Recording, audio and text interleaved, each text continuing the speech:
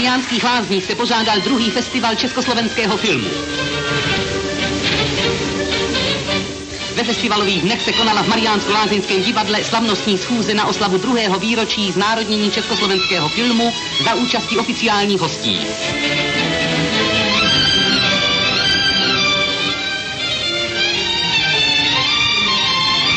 Ministr informací Kopecký zhodnotil dva roky práce československého filmu ode dne podepsání prezidentova dekretu o znárodnění filmu a vyzdvihl domácí i zahraniční úspěchy našich filmařů.